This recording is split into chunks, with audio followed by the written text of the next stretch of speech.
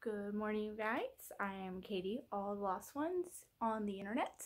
Um, it's nice to meet you. Welcome to another daily video. If you've seen all of them, then you are awesome and amazing, and I love you.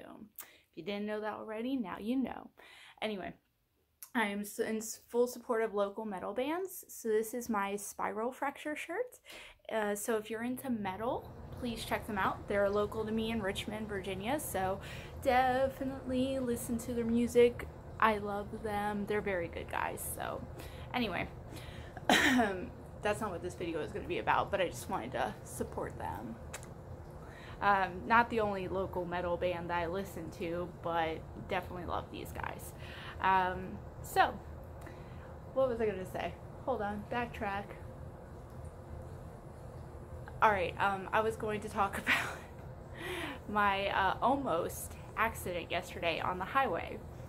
So I believe I was going down 64? I always forget what part of the highways I'm on. I don't know. I was going on a highway to go pick up Barry. And like the exit that I take to get on these other exits that I take, yes, that's how I tell stories. The exits to the exits to the other exits. Um, yeah, there was almost like it wasn't just me that almost got in this accident, it was like a whole slew of cars. You know how you hear about those like six car, seven car pileups? Well, we all avoided that. Like all of us. It was intense, scary. I screamed. I was having a panic attack. I was not okay. I was freaking out. Now, I didn't pull off to the side of the road, even though my panic attack was starting to make my hands. I don't know if you've ever had these like hyperventilation panic attacks, but they're very frightening. Um, like my hands were like starting to like go like this or whatever. I can't explain it, but I couldn't move them and I was starting to go numb and stuff. It's very frightening. But I pulled myself out of it. I was still driving. Should have pulled off to the side of the road, really. But in my, I was not in my right. I just had to go get Barry and I had to get back to work and I was just freaking out. But yeah, so this is just to say PSA to people. PS public service announcement. And I was trying to figure out if I said that right. I have no idea. But anyway, please watch the road. This is why. Because let's just say, let's just say I was one of those people that's on their cell phone going, you know, for like five seconds. That's all it took.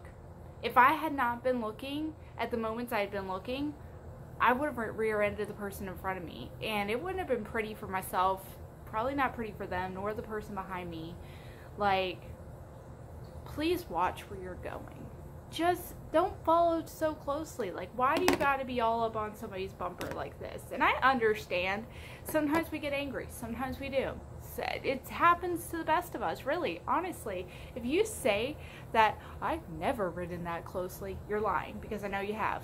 Um, everyone's done it. Everyone gets angry. But honestly, your day-to-day driving, you, you should really any driving, we just we need to calm down. I'm getting better at my road rage. Like I am not the best one to be giving advice on road rage, but I am the best person to give advice for trying to overcome your road rage because I have severe road rage issues. I am not a nice person. But all I'm saying is that moment like a lot flashed before me like I realized like I was so lucky. Some people are not that lucky. Like I hear about all the time on the news, um, you know, all the time car wrecks, car accidents, car accidents, this, that, the other, falling too closely, well, looking at their cell phone, whatever it is, they saw a butterfly. All I want to say is just be careful because you really don't know when it's going to be your last day because I've seen accidents like that and then heard about on the news and there were no survivors. Like that's frightening to me. I'm so lucky that it wasn't any of us and we all did the right thing and I swerved. Like I slammed on my brakes and I had to swerve into the like pull off lane or whatever on the shoulder. Scary. When I tell you that was the scariest moment, like that is probably the single most scariest almost accident I've ever been in.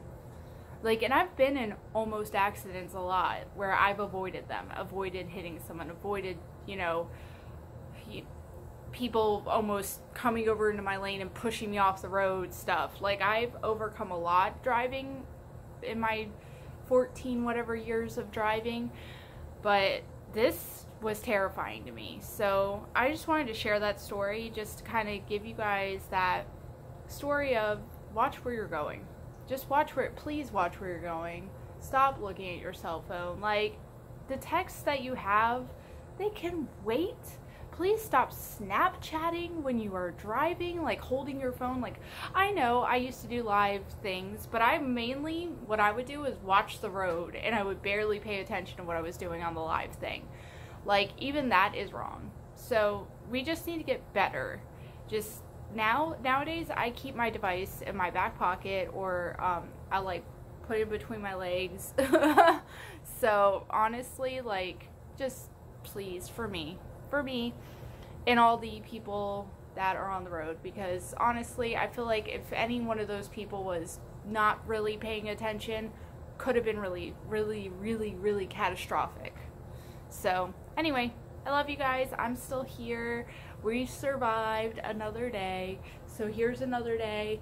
Go support your local metal bands. If you don't like metal, then support whoever's local for artistry to you. Like, if you like pop music, reggae, whatever, you know, classical, find something local to you to support because they need it. And they're amazing. Sometimes you find the best people who you didn't even know and they live right down the road or whatever, basically. All right, love you. Bye. Thank you for watching. See you tomorrow day.